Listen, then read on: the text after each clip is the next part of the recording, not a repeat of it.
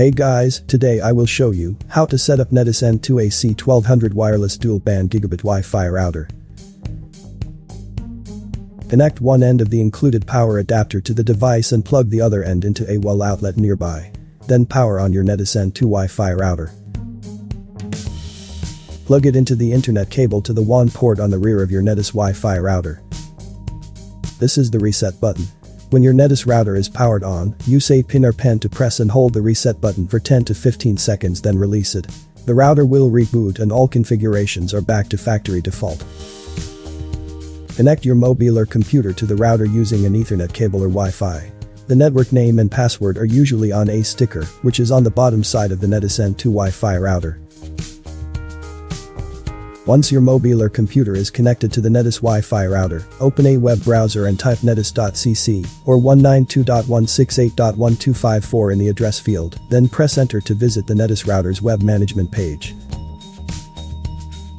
Now log into your router's panel. Type the administrator username and password. You can find the default login username and password on a label underneath the Netis N2 router. First, type your login username. Netis N2 Wi-Fi router default login username guest. Then, type your login password. Netis N2 router default login password is guest at last 4 to 6 digits of LAN MAC address. Then, click on sign in. Select the language you need on the top box. Netis Wi-Fi router default language is English. Then quick setup page. Select your internet connection type. If DHCP is selected, the router will automatically receive the IP parameters from your ISP, Internet Service Provider. If static IP is selected, please type the IP address, subnet mask, gateway, DNS servers given by your Internet Service Provider. If PPPoE is selected, to set up this connection you will need to have a username and password from your Internet Service Provider. If you do not have this information, please contact your ISP. First, type your PPPoE username. Then, type your PPPoE password. Under the wireless setup, configure your wireless network name, SSID, and Wi-Fi password.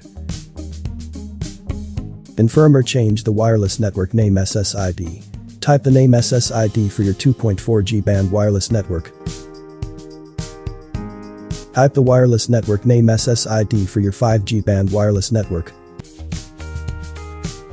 Set a password to secure your Wi-Fi network. Type the password you have chosen in the box next to the password. Wi-Fi password must contain at least 8 characters. Then click on Save to finish the Netis N2 router setup.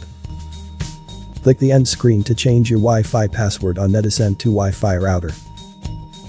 Please, like this video and subscribe to our YouTube channel. Hit the bell icon to get the latest video update. Thank you for watching this video.